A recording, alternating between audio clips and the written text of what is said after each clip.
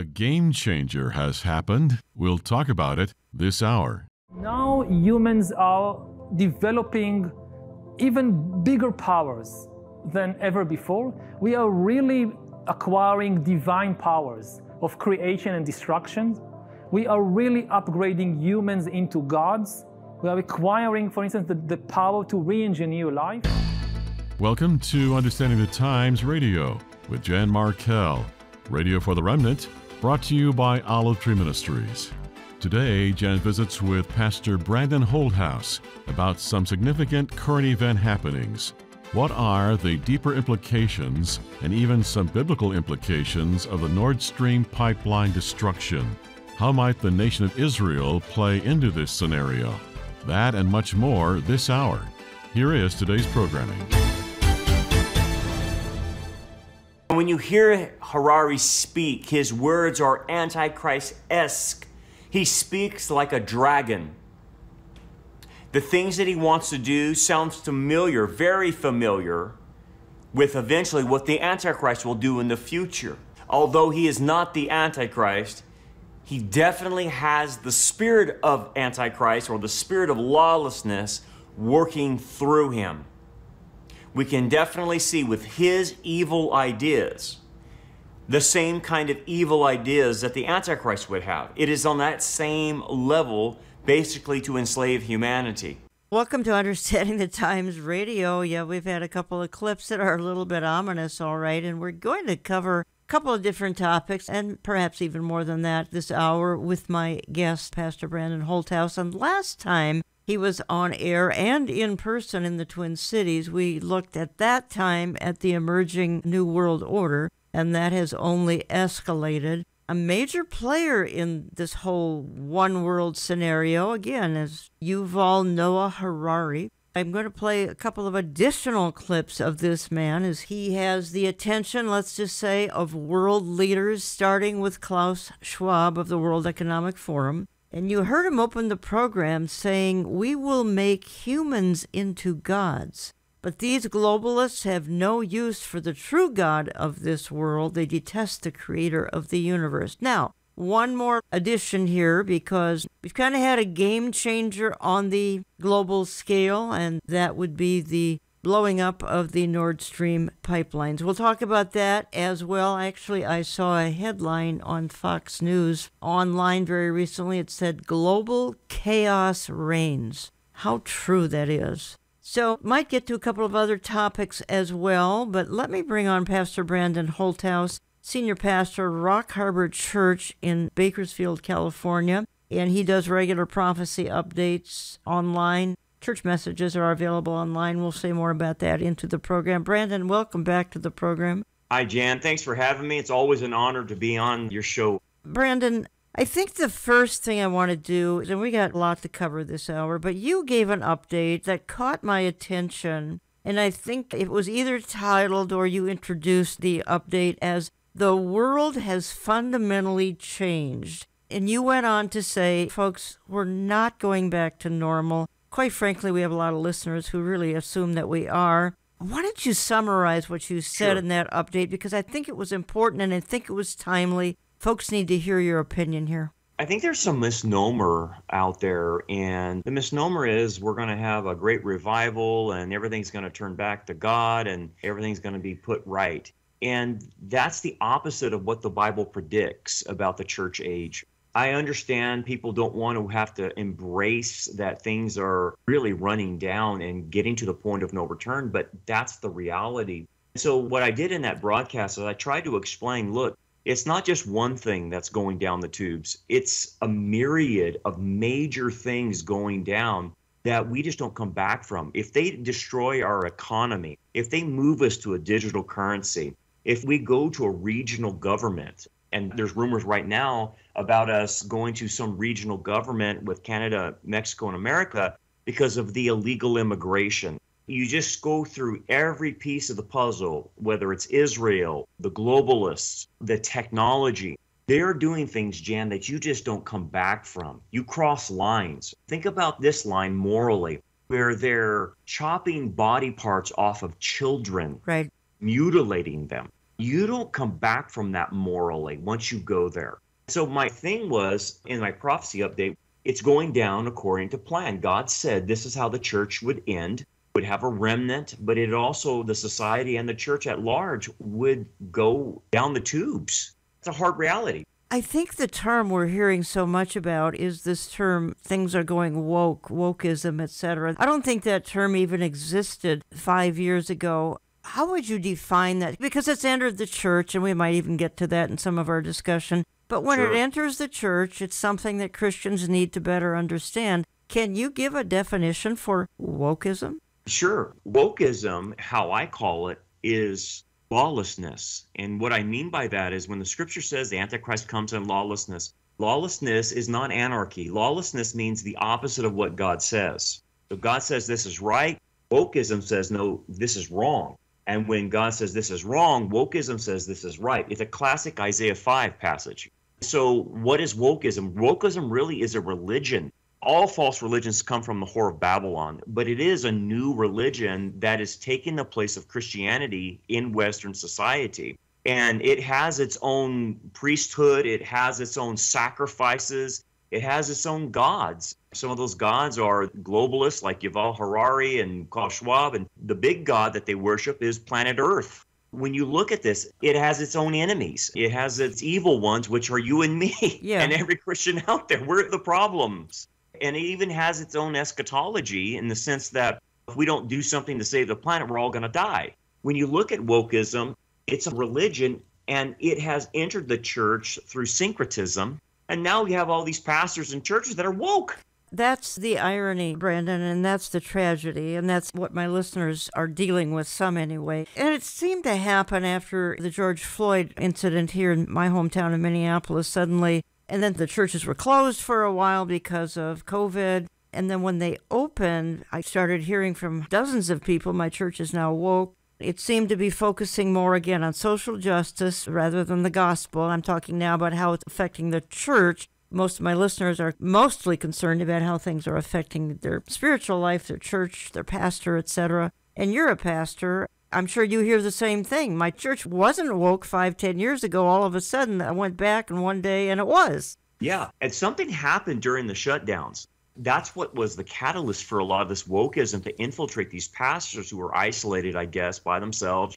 And the devil worked on them, and they come back now. And then salvation is not through Jesus Christ, salvation is through social justice. And you have this idea of corporate salvation now, if we all work together to create peace and security. So I don't know what happened during the shutdowns, but something spiritually went wrong because everyone I talked to, they would say, I don't know what happened. My pastor came back into the pulpit and all of a sudden he's woke and apologizing for his white privilege. That's And I wanted all of us to repent of our white privilege. So something happened, Jan, during that shutdown. Something spiritually damaging happened. Folks, you need the video, I think, Enemies Within the Church, which we carry. And I didn't make this statement just to try to make a sale, but what Brandon and I are talking about is pretty well explained in the DVD Enemies Within the Church. You can find that in my online store. You can call my office. I've done multiple programs on it. I think it offers an explanation for some of what's happened, perhaps not all. Brandon, I'm just moving on, just in the interest of time, because I opened the program with a very short 20 second clip of Yuval Noah Harari. And then I played a little clip of you talking about Mr. Harari. And I'd like to play, this is just 40 seconds of this gentleman. I want to talk about it. And then from there, we're going to move on to some other things, including what I think is a game changer for the whole world that happened a week ago or so. We'll get to this Nord Stream situation at that time. But first, folks, I just feel we need to help you better understand and better get acquainted. This man is an Israeli. He is very self proclaimed atheist, Mr. Harari. And here he's making a statement because, again, he's a globalist, and the globalists think that they're going to find eternal life, of course, apart from God, Jehovah God. don't have any answer in the Bible what to do when humans are no longer useful to the economy. You need completely new ideologies, completely new religions, and they are likely to emerge from Silicon Valley or from Bangalore and not from uh, uh, the Middle East. And they are likely to, to give people visions based on technology. everything that the old religions promised uh, happiness and justice and even eternal life, but here on earth with the help of technology and not after death with the help of some supernatural being.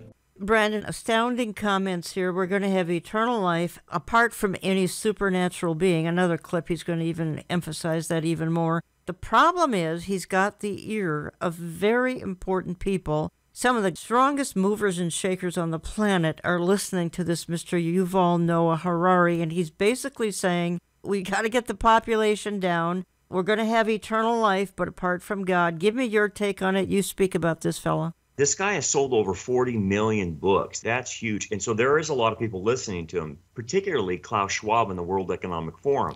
And in fact, most leaders around the world have listened to him. Even Obama champions him and other people in the European Union. So, what's really going on here? This guy, I call him the oracle for the beast government. What I mean by that is he is telling you what they're going to do and how they're going to shape our society with this new idea of a technocratic system. Because this guy wants to hack us. He wants to prevent us from what he calls fake news. And to him, fake news, I'll give you an example. He says that the resurrection is fake news. Right. He says that the Bible is fake news. So he wants to eventually implant things in us that prevents us from believing these so called fake news or any other thing that goes against the globalist agenda. So, if you want to know what they're doing and what they're thinking, this guy is the brainchild. And they are implementing pretty much every thought he has.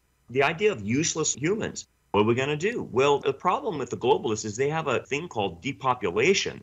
They do want to depopulate the planet. And that's his thing. What are we going to do with all these useless humans? In another clip, he says, well, I guess we'll give them drugs and video games. This is evil. And this is the way they look at life and humans because they think they're the gods now. They will be the gods that tell us what to do. And I think I've heard you say somebody like this, he's clearly a forerunner of the Antichrist. I'm not saying he's the Antichrist. We don't know who that character is going to turn out to be, and Christians are never going to meet him, thankfully. But this guy, he wants to lead a digital dictatorship. I think that's what stands out to me. He sees salvation through technology. I'm going to play one more clip of him, and here he says the biggest game changer that he has seen is that we can now monitor people under the skin. Well, you think about that for a few minutes, folks. We've had some issues with, we're not going to name it right now, but things going on under the skin here for a couple of years. People could look back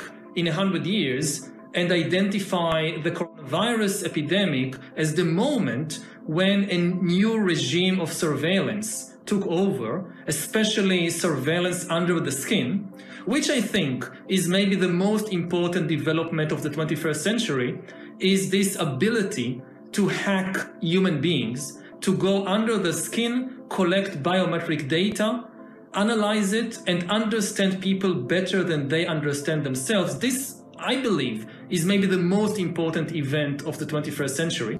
Maybe in a couple of decades, when people look back, the thing they will remember from the COVID crisis is this is the moment when everything went digital. And if eh, this, is, this was the moment when every, everything became monitored, that we agreed to be surveyed all, all the time, not just in authoritarian regimes, but even in democracies. And maybe most importantly at all, this was the moment when surveillance started going under the skin. Because really, we haven't seen anything yet. I, I think the big process that's happening right now in the world is uh, hacking human beings, the ability to hack humans, to understand deeply what's happening within you, what, what makes you, what, what, what makes you go.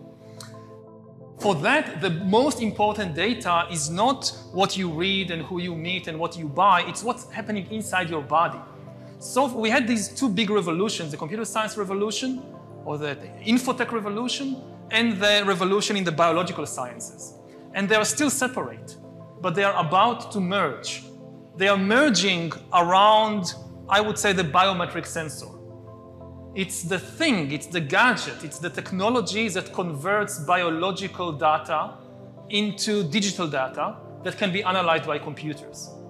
And having the ability to really monitor people under the skin, this is the, the biggest game changer of all. Folks, understand this is the brains behind the World Economic Forum. This is the brains behind the globalist agenda, the globalist leaders. This is who they listen to. And Brandon Holthaus, he's basically saying humans are a piece of software that you can hack into. Yeah, and you think about how Antichrist esque that is to look at humans not made in the image of God, but just animals.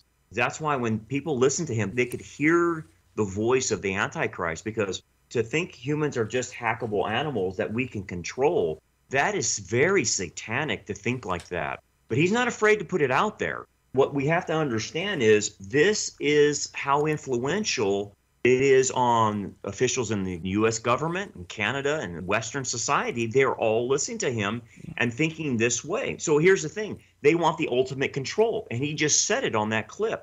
And even when I was studying prophecy a long time ago, beyond what I even imagined, I understood the Antichrist will control people from the outside but I did not understand the concept of controlling people on the inside until now with technology. And that brings a whole new level of control that they can control what we're thinking or how our feelings are and then monitor us and penalize us for things like that. That's way beyond what I even imagined. So now it's setting the stage that the Antichrist will not only control you from the outside, he will control you from the inside. That's pretty scary. You're listening to Understanding the Times Radio. I'm Jan Markell. I have on the line from Bakersfield, California, Pastor Brandon Holthaus. You can learn more at rockharborchurch.net, rockharborchurch.net. Be sure to sign up for his various prophecy updates. All of his messages are online as well. Brandon, again, just in the interest of time and because so much news is breaking all the time, I'm transitioning a little bit here. And folks, we just shared with you a few minutes here about somebody who, again, we're acknowledging that he's a terribly evil human being, but the point is that the world's globalists, the one worlders, look to people like this because he sounds like he knows what he's talking about, but he's very much a God hater. He believes that we're going to live forever, but that is without God. That's probably through technology and other means. And you heard Jared Kushner last week state that he felt that he would be the generation that would live forever. So this is the way a certain subset of people are thinking today. Brandon, I'm moving in the interest of time into a current event, and we need to talk about it, and we need to give more of a biblical spin to what has happened, and that is a couple of the pipelines that are obviously providing natural gas to, I think, almost all of Europe were sabotaged with explosives. And both of us have been trying to look into it as much as possible. And first, before we even get into the discussion, I want to play what Mr. Biden said about the Nord Stream pipeline. He gave an ominous warning about this pipeline. Now, remember, folks, that what has happened is not going to inconvenience millions of people. It may actually cause the demise of millions of people because they're not going to get their sufficient heating in the coming winter. If Russia invades, uh, that means tanks or troops crossing the, uh, the, the, border of Ukraine uh, again, then uh, there will be uh, we there will be no longer a Nord Stream two. We we will bring an end to it. What do, what, how will you how will you do that exactly? Since the project and control of the project is within Germany's control. We will. Uh, I promise you, we'll be able to do it.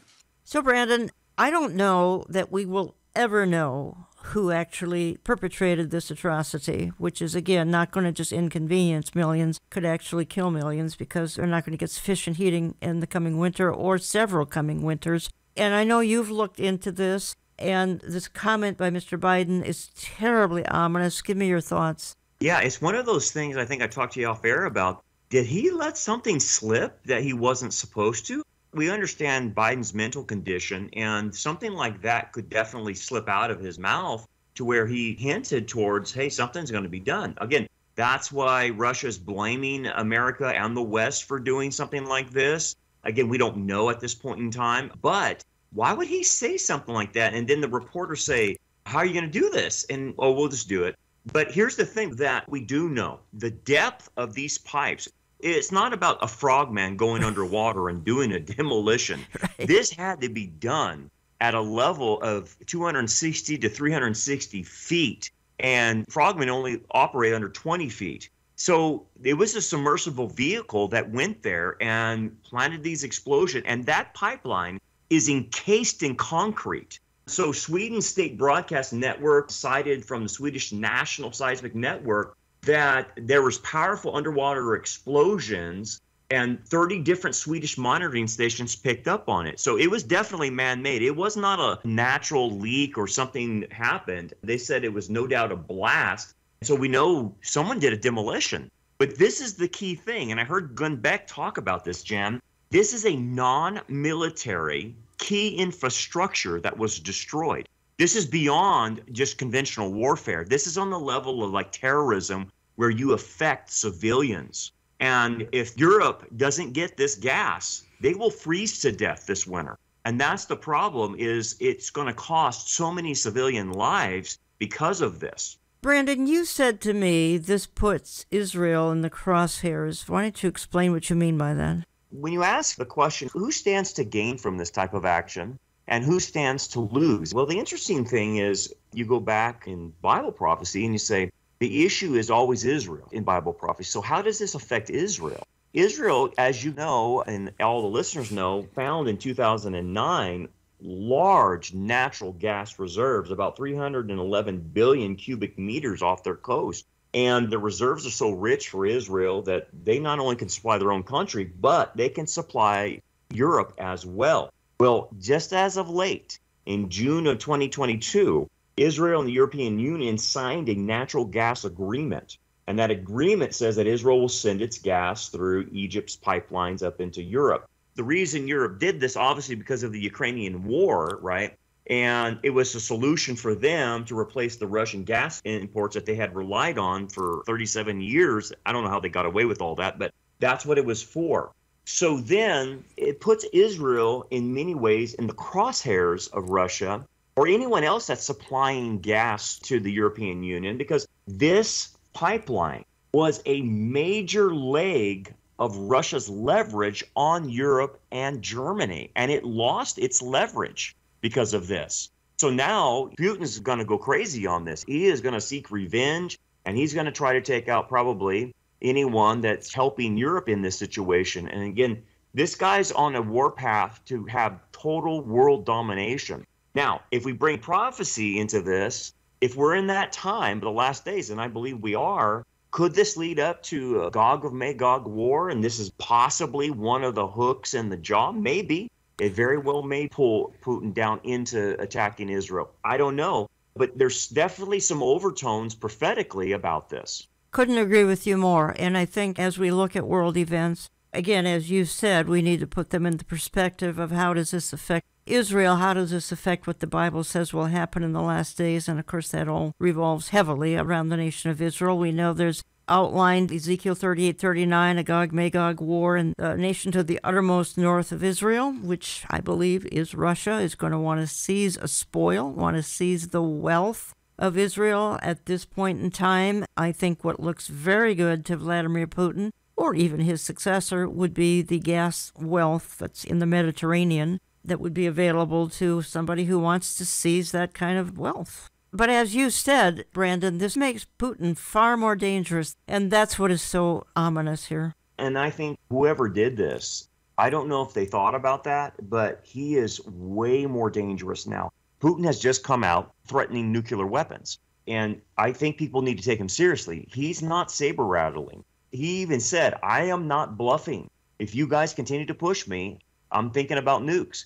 Well, people have to understand what's really happening over there it's the globalists versus Putin. Really, it's what's happening. The globalists can't stand Putin because he stands in the way of globalism. Now, here's a weird thing. He was trained by Klaus Schwab, and then he apparently turned on the World Economic Forum because he's not a globalist, right? I don't know if he went in there just to figure out what they're thinking and what they're planning to do, but he's definitely not on the globalist trail. So, this issue of Ukraine and what's happening in that area is an issue of globalism versus Russian nationalism. And the main idea behind Putin and what he's doing comes from Dugin. Alexander Dugin is the brainchild for Putin. As we talked about Harari being the brainchild for Klaus Schwab and the globalists, Dugin is the brainchild. And in Dugin's mind, he speaks into Vladimir's ear about revenge and about establishing a Russian state to control the entire world. They absolutely hate the West. They want to destroy the West. And here's the funny thing, Jan they hate wokeism. Yes. They hate globalism. So when you look at that, and I'm not a Russian sympathizer at all, but this is part of their Russian nationalism where they're definitely opposed to the values and goals of the globalist system. And so I think if people just think in those terms, they'll have a better idea of really what's going on there and how this plays out. It's interesting. What I've said in some of my prophecy updates is you could be seeing a war between the two legs of Daniel's metallic man of Rome. Rome basically has five stages predicted in prophecy. Daniel 2, Daniel 7, and Revelation 13 indicates there's five stages to the Roman Empire. First one was the United Stage in Jesus' day. Right now, we're in the two legged phase. And if you do a little history, Jan, what you'll find out is the western side of the Roman Empire moved up into Charlemagne and then through Otto I into Germany. When Constantinople was taken on the eastern leg, the nobles and scholars and princes all moved into the area of Russia. And so, what a lot of scholars who watch this will say is that the two legs of Daniel's metallic man, one is standing in Russia and the other one is standing in the area of Germany or Western Europe. And so, if this is the case that this is a battle between the two legs, I already know who wins. Mm-hmm. The globalists win because we move the next phase is a global government in Daniel's metallic man. And then you have the 10 toes, obviously, and then ending with the Antichrist that's a bigger perspective. And I think that's how people need to get a grasp of really what's going on there. We're getting ready to move into a global government.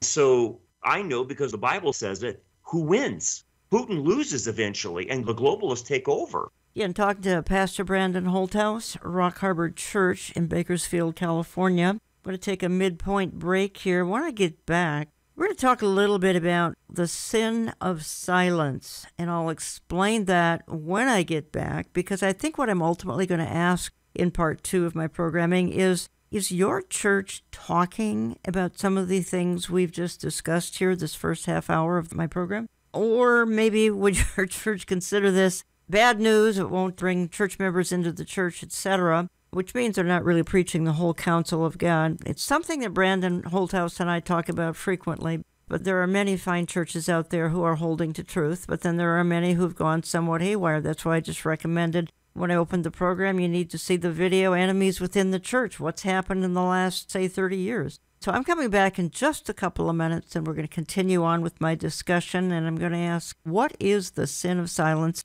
We'll get to that in just a minute. Don't go away. When was the last time in your church you heard the pastor speak on Bible prophecy. Some churches went 20, 30, 10, 15 years. The pastor's not mentioned anything about Bible prophecy. When was the last time your pastor discussed the Messianic kingdom, the thousand year rule of Christ? When was the last time you heard a sermon on the Antichrist or the false prophet? When was the last time you heard about the great apostasy of the church, which is happening right in front of our very eyes? When was the last time your Bible study discussed the end times?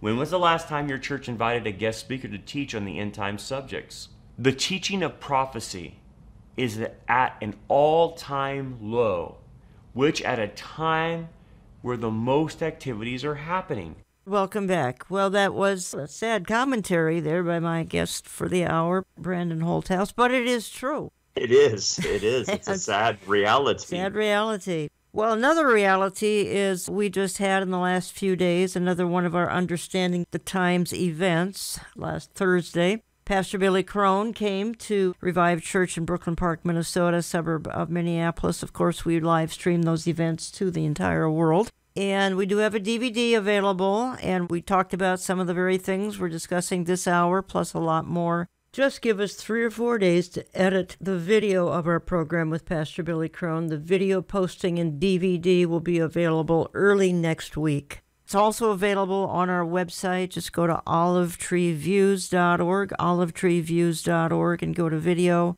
And my goodness, we have a wonderful turnout, and we have tens of thousands. Actually, over a week or two, we're going to get couple hundred thousand views from our online audience, as we did with my guest for this hour, Pastor Brandon Holthaus. He was with us live in Minneapolis back in April. I want to read an email, and I teased with this in my first half, and it's kind of a sad email, but some of you will identify with it. I'm not going to name the person who wrote it because I don't have permission, but they write this. I appreciate your ministry because the church and area where I live just does not talk about anything that's going on in the world, including end time issues. And the writer says, I feel increasingly lonely as a Christian, even though I am a member of a megachurch and serve in ministry in the church. The fellowship has dwindled to a very little to very few, and I don't understand why. So they write, I do not receive any encouragement or meaningful conversation from believers I attend the church with. And they conclude, I seem to have different, perhaps a biblical worldview than some of these other church attenders. Believers here live as though everything is all right and that it's up to someone else to solve all the troubling issues our country is experiencing. And then he concludes, I just feel so alone and I feel like there's no one I can talk to. Again, this particular writer is from a megachurch. Doesn't have anybody in the church to talk to, at least about some of the issues that we feel matter today. So when I read that, I said, well, I think I'm going to talk to my guest for the hour, Brandon Holthaus, about that. Brandon, you get similar emails like this. Give me your thoughts on the one you just heard. It's unfortunately part of the normal emails we get it saddens my heart. And this is the phenomenon that's going on that the majority of churches will refuse to talk about current events. They refuse to talk about prophecy or even teach from a book of prophecy. So they cherry pick through the Bible in order to avoid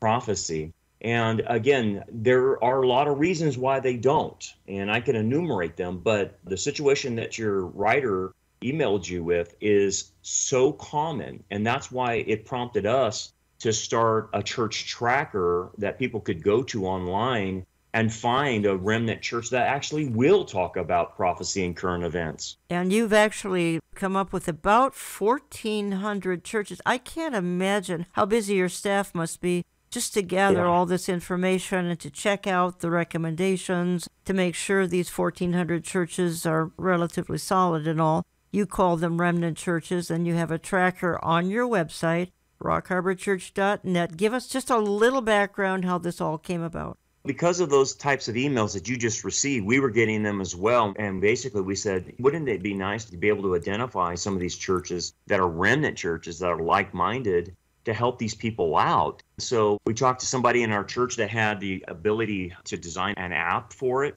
And then once he got it established and we got our new website, we put it into effect. And then I devoted three staff members to really honing this in. And what they're doing is we started with the churches that we know. From then on, people started contacting us saying, Hey, I'm part of a remnant church. And we vetted them and we were able to put them on our church tracker. And over the course of five, six months, we ended up with 1,400 churches. And we actually have people on the ground scouting the churches out for us now and they'll come back and say, yeah, he's not pro Israel or he doesn't agree with their statement of faith that's online. So that's been really remarkable that we can use yes. people to scout out these areas. But we're continuing to grow it. And now we can say to people, well, check this area out and see if there's one there. You might have to drive a couple hours, but it'll be worth it. And we've talked about this before, and we actually did a program. We did this originally three years ago called Prophecy Derangement Syndrome. You and Tom Hughes and I did an hour, actually replayed that the following year. So it's twice we've aired Prophecy Derangement Syndrome, which basically much of the church, not all, we certainly have some that are holding to truth and the whole counsel of the Bible. But the point is, some are committing what you said to me privately a day or two ago. They're committing the sin of silence. In other words, they're not talking about everything that's going to equip the believer to cope with our times. Now, you and I talked for the first half of the program here, today's Understanding the Times radio. We talked about some very troubling things from this Yuval Noah Harari, who's very Antichrist esque, as we've already said, moved on to some of the sabotage that's going to put millions of Europeans at risk here this coming winter and in the future because of the Nord Stream situation.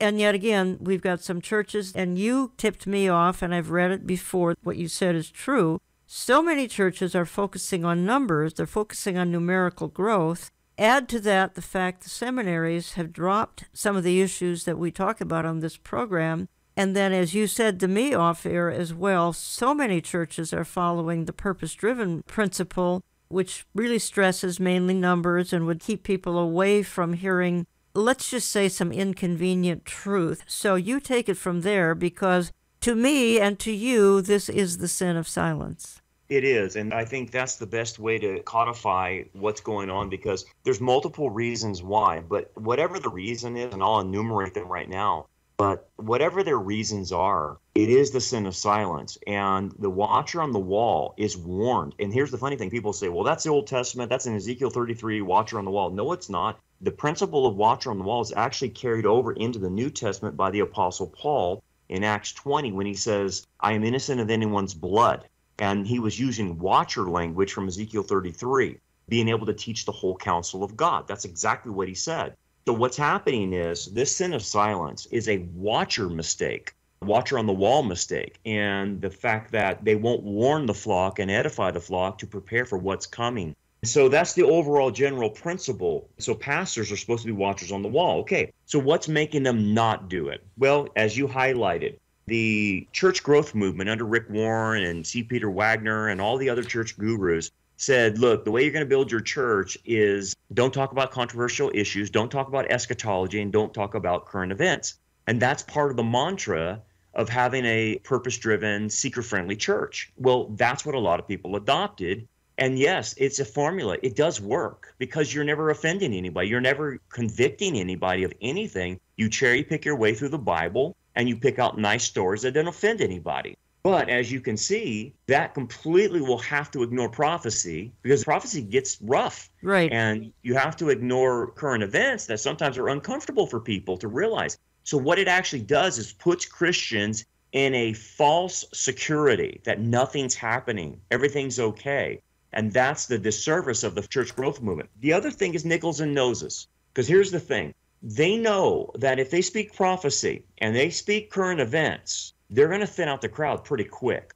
I thin out my own crowd every Sunday morning because of what I'm saying. But they don't want to pay that price. There comes a price with telling the truth. And these churches don't want it because the game for them is numbers and money. That's the real game that's being played in a lot of these churches, and that's why they stay that. The other thing is ignorance. Ignorance, because number one, the seminaries are not teaching eschatology. Right. It's very difficult to find a seminary now that requires you to study eschatology. And some of the seminary kids that were coming out of the Southern Baptist Convention seminaries, and I remember when I was in there, they would go through an entire seminary and never take an eschatology class. How is that possible? How is that possible? I don't it's understand. it. unbelievable you have that going on in seminaries. So a lot of these guys that are getting cranked out of the seminaries completely don't know how to study eschatology. I'm going to play a little clip of you here, and here it's so true. Basically, what you're saying in this short clip I'm going to play is Bible prophecy prepares us, and the fact that we've probably entered a post Christian society. So, folks, how are you going to deal with that unless you really understand some of the issues that we're talking about this very hour? Prophecy is there to prepare us, to create an urgency in us, to create righteousness and morality in us. And so, if people, Christians in particular, think that, you know, we're going to get past all this and then we're going to return back to normal, they have a rude awakening coming. It's not ever going to return back to normal. We are in the last days. And that means every day, every week, every month, every year, as we get closer and closer to the tribulation, things are going to fundamentally change. Now, like I've always said, we could be raptured at any point in time, but think of how much we have seen now. Think of how much in the last two years we have seen, even in America and around the world, how things have fundamentally changed. The reason for it is because of prophecy. God is allowing evil to do what it wants to do so that eventually God will judge evil in the tribulation. So, this is why we've seen the world change. This is why we've seen uh, the church be revealed for really what's going on. Now we understand in the church that there's a remnant element, and then there's a Laodicean element, and then there's an apostate element, and there's false teachings everywhere. So we now see that, which again was prophesied. But again, we have to understand as Christians to accept reality as it is, not to pretend it's not happening, not to go into a bubble and say, I don't want to hear anything, I don't want to see anything, uh, I just want to stay in my little bu- protective bubble and pretend this is all not happening. That actually hurts you worse spiritually. You have to know what reality is, and so that you can respond to it correctly, be about our Father's business, and realize you're now in a post Christian society, a post Judeo Christian ethic and, and morals. The, you are now seeing Babylonian morals, 180ism, as I call it, or lawlessness is now happening. We're in a post freedom society. Whether you're in Canada, whether you're in South Africa, or, or, or, or, Australia or any part of the Western society or in, in, in uh, you know, Europe or whatever that was part of Western society. You're now seeing that Western society's freedoms are, are, are being erased, are being taken from you, especially here in America. We are seeing things we never could have possibly imagined. And we see half of the population willing to give up their freedoms for quote unquote security. You're listening to Understanding the Times Radio. If you join me late, I'm Jan Markell. I have on the line from Bakersfield, California, Pastor Brandon Holthaus. Learn more at rockharborchurch.net. And you might, if you're a remnant believer, and that's kind of what we're talking about, at least for this segment of the program, you might look into the remnant churches. He's identified 1,400 just about in every state of America. And Brandon, I think you've got some foreign countries too, right? Yeah, I do. We were picking up some foreign countries that we've made contact with and some pastors there. And yeah, we're expanding even the international. Okay, great. So again, you can find that at rockharborchurch.net and then look for the remnant churches. Is there anything else that identifies it to help them find it, Brandon? Just go to rockharborchurch.net, go to Grow and Connect, and then it'll say under that tab Church Locator, and you'll pull up the whole map. And it's pretty easy to navigate. Grow and connect, and then you'll find the church locator. And folks, if you have a remnant church, in other words, church that's telling the truth, that's talking about the things that we need to hear about these days, difficult as they would be, you might want to contact rockharborchurch.net. I played that little clip of you, Brandon. Anything you want to correct or embellish, go ahead the big thing that people have to do in order to prepare themselves spiritually is just to accept reality, as I said on the clip. Because accepting reality means accepting the truth. And God wants us to be truth seekers. And what's happening to Christians is that because their lack of maturity, or they've been in churches that haven't matured them, their discernment is not where it needs to be. So, prophecy helps us increase our discernment about what's going on to prevent us from being deceived. Because right now, there's a lot of Christians that are deceived with like QAnon and other things that are giving out stories and fables or whatever that's deceiving them, and it's not true. So, we're seeing now, because of a lack of prophecy teaching, a lack of discernment in Christian circles. And then when you start pointing things out to people and saying, hey, that's not even true, QAnon's fake, they get mad at you. Yeah. And at the end of the day, it's like, look, I'm trying to help you, and prophecy would help you instead of you getting led astray by other things. And the game of deception is at an all time right. high. This is why prophecy prepares us. It's not supposed to scare us. And that was often stated by our good friend, now enjoying heaven, Ed Hindson. That was one of the statements he always made. Prophecy is actually given to prepare us and certainly not to scare us. I have in front of me, Brandon, I have in front of me an article. It's actually published by Lifeway Research. A vast majority of pastors see signs of the end times in current events. Can't read it, it's many pages long. I can summarize it. Again, this is Lifeway Research. It says, Are any of these types of current events birth pains that Jesus was referring to when he was asked by his disciples, when would he return? Again, Lifeway is asking pastors this. Then they come up with these categories rise of false prophets. 83% of pastors agree. Love of many believers growing cold. 81% of pastors agree. These would be evangelicals primarily.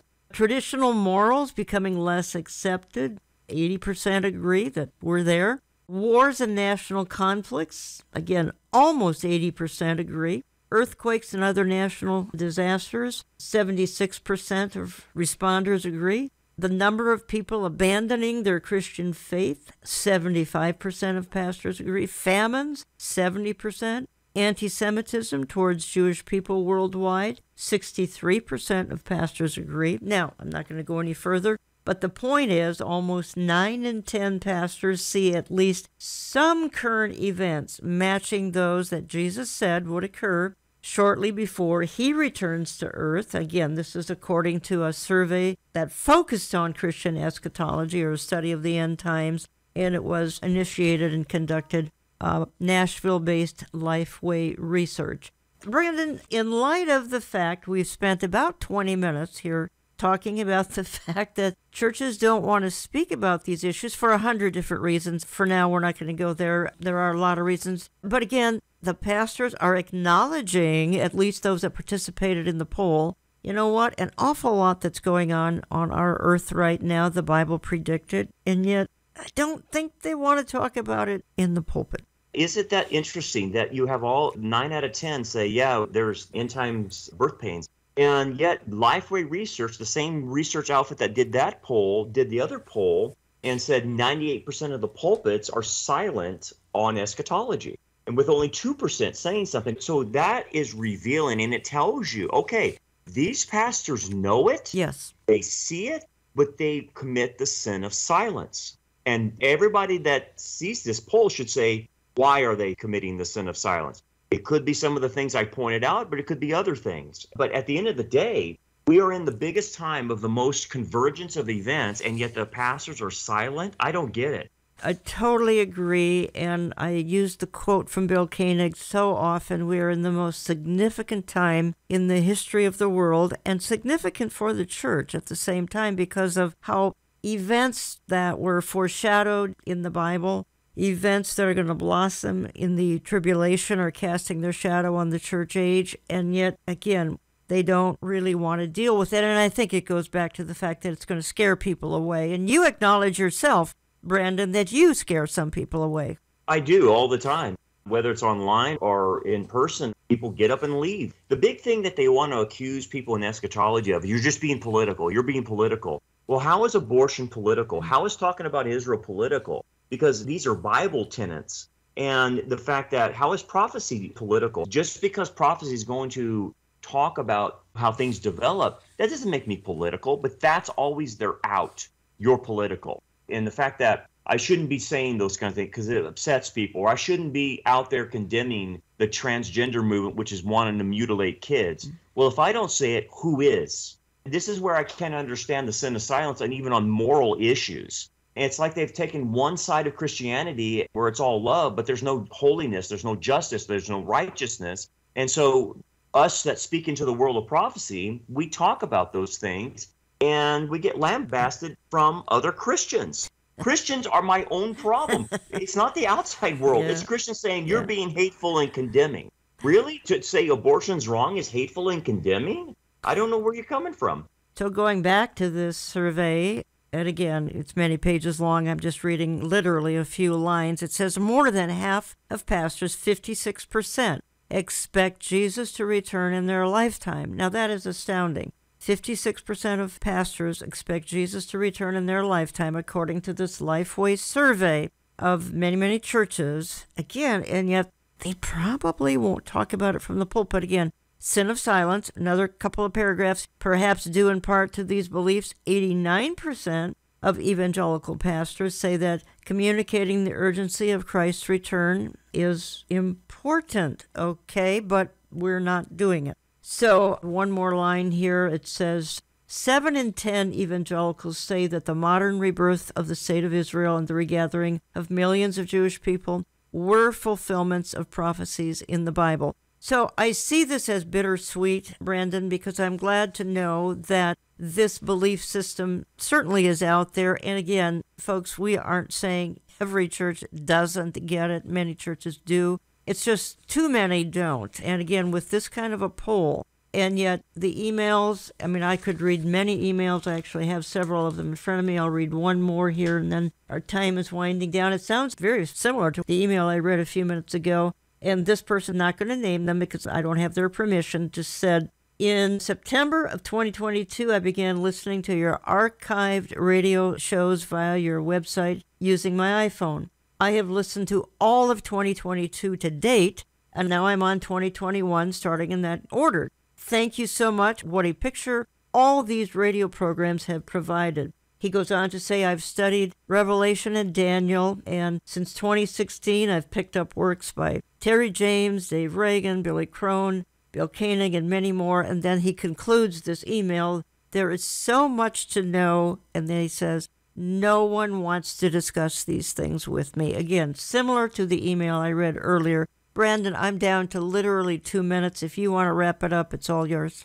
So here's what I'm seeing on the ground because these pastors know it and won't teach it. Here's what's happening it's happening at the grassroots level. So this is what gets reported to me from our church tracker people throughout the nation. Their pastor agrees with them, actually. They go to their pastor and he believes in a proper eschatology. He believes we're in the last days, but he won't teach it. So, what a lot of people have done, and we've told them this, well, then go start your own Bible study and study the book of Revelation, study the book of Daniel. We'll supply you with the supplies and whatever you need, and you do it on your own. And that's actually what's happening to a lot of churches that won't teach eschatology. It's happening from the grassroots okay. level. So, hey, if that's what needs to happen, then my encouragement to everyone out there listening start your own Bible study and do it. There you go. I'm glad you said it because that's exactly what should be happening. Brandon, thank you for all you do. Let me just quickly add here that Brandon was our guest, Understanding the Times, last April. That's also on our website. If you just go to video, that's where we house the various things that we do on video, including our Thursday night, every other month, Understanding the Times events. He was with us in April. There we dwelt on the approaching New World Order. So again, it was extremely timely and relevant, and you can learn much more at rockharborchurch.net. Again, you might want to look for that church tracker on his website, rockharborchurch.net. Again, thank you, Brandon, for all you do. We appreciate it so much. I'm going to actually go out of the program just giving a couple of Bible verses because you know what? We have talked about some troubling things, particularly first half of the program as it concerns current events. let's be comforted by the words out of Isaiah 41:10. Do not be afraid, for I am with you. Do not be dismayed, for I am your God. I will strengthen you, I will help you, I will uphold you with my victorious right hand. And the wonderful words Psalm 3, 5, and 6. I lay down and I slept. I woke up in safety, for the Lord was watching over me. I am not afraid of 10,000 enemies who surround me on every side. So I want to thank you for listening, folks, and we will talk to you again next week.